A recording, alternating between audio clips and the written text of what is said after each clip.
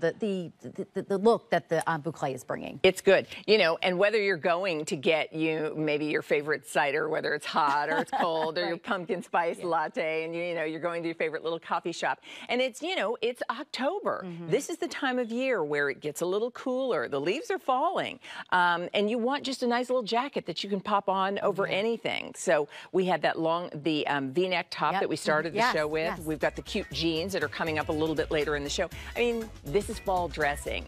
And if you want to elevate even those casual days, then you're choosing Barefoot Dreams and getting this hoodie at $58 off the regular QVC price. So regular price was $178, is now $119.99. The easy pay